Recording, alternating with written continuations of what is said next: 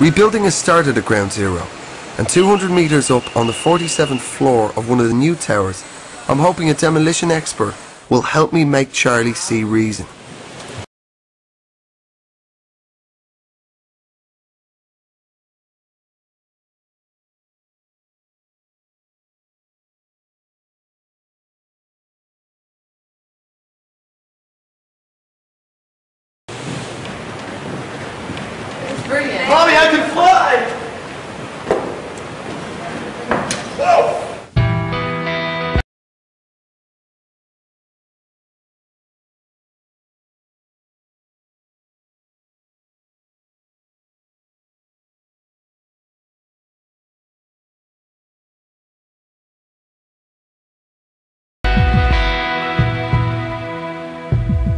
Trying to get my bearings, but presuming this is where the World Trade Center was.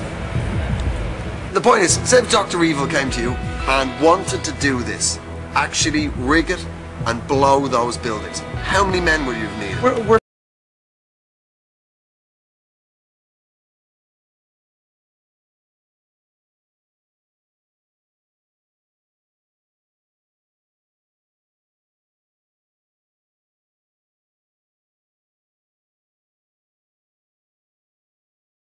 fortunate here in that these columns have not been covered yet. Brent Blanchard has demolished thousands of buildings. Okay? So they're, they're exactly they're the exact sort of columns that you'd want to rig, yeah? Similar. These are smaller than what was in Okay. WTC, but you, you can't put an explosive on this and just have the column blow up. Okay. It, it doesn't work. You,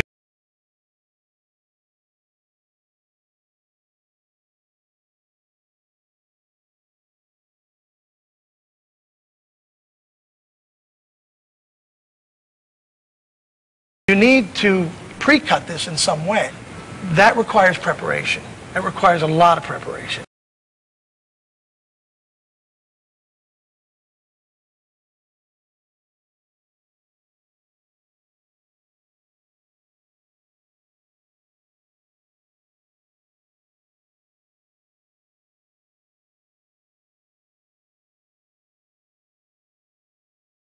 Um, And you would actually have to have some type of explosive similar to this, something very high velocity that will actually cut through steel. That's So- what you see in building implosions all the time. Right. You don't see it, but that's what's happening. That's what you're doing. yeah.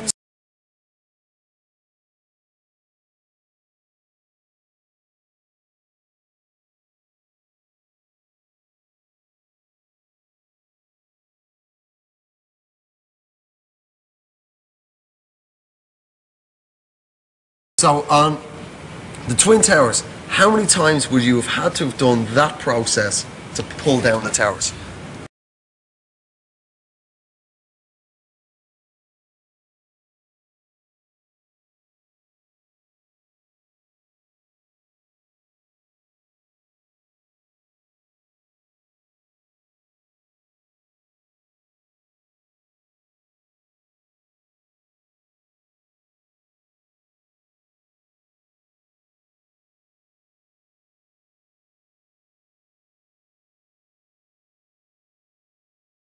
Probably hundreds of columns. So you're talking about a lot of explosive material, a lot of people who know exactly what they're doing, Right. who have a lot of time to work on this. So that's how you do a controlled demolition. Guys come in, pre-cut the steel girders and wire the whole building. I can't see how all this could have taken place under the nose of everyone working in those buildings.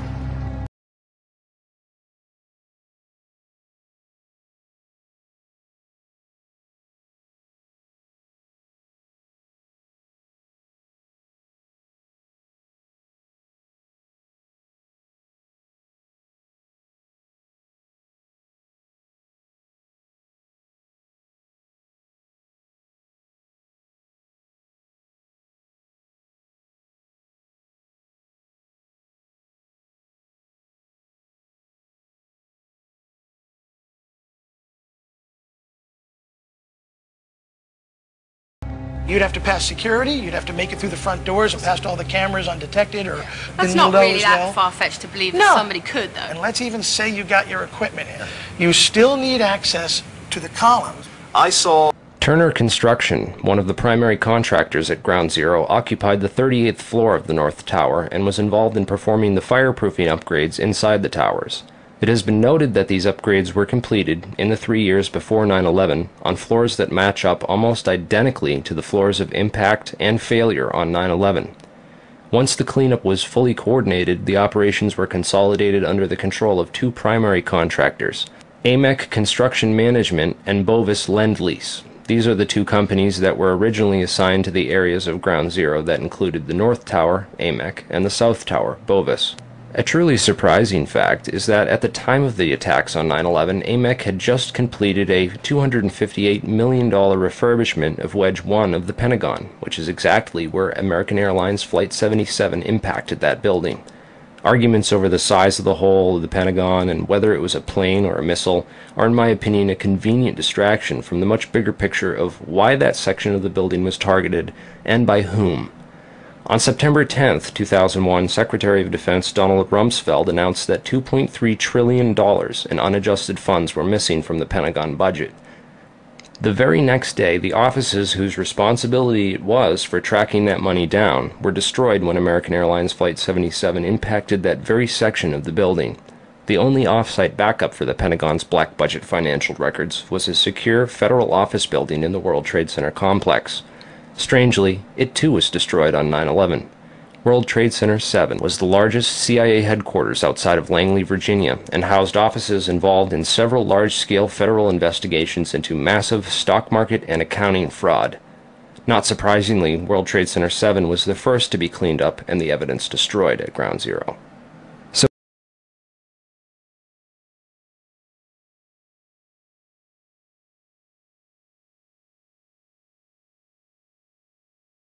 And then let's imagine that's there. And then it kind of carried on straight down into the building instead of just going, boop.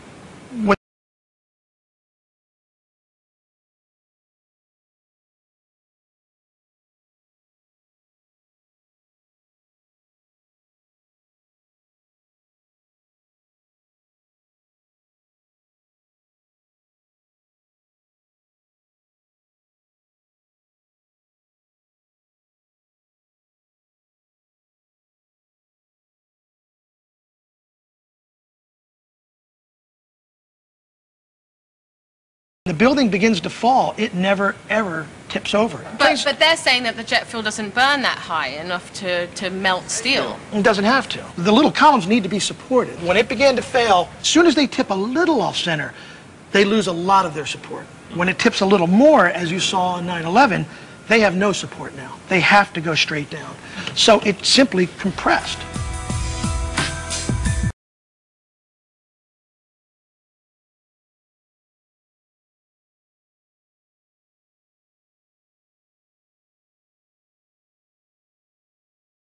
Brent's been making a lot of sense, and I wonder if he's managed to persuade Charlie.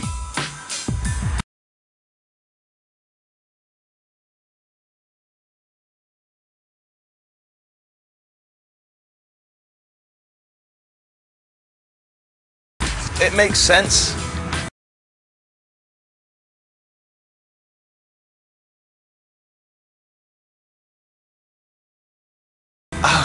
This is hard, you know, because I've held on to these ideas for years now, and I've always hung out with people who said, yeah, conspiracy, 9 11, demolition.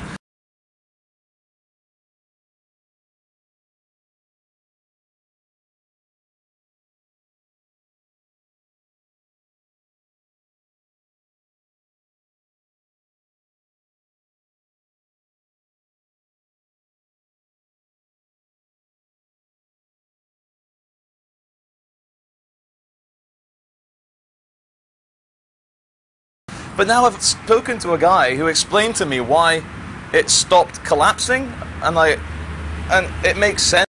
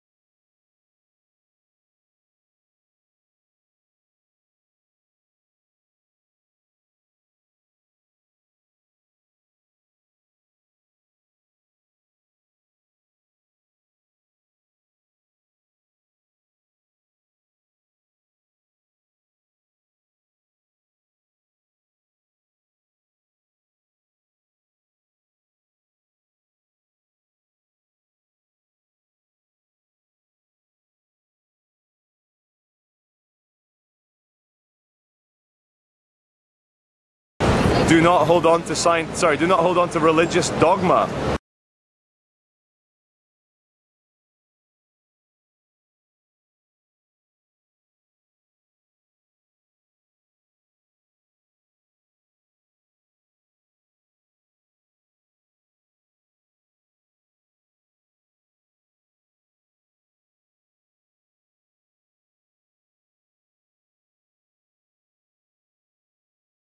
Do not hold on to science. Sorry, do not hold on to religious dogma.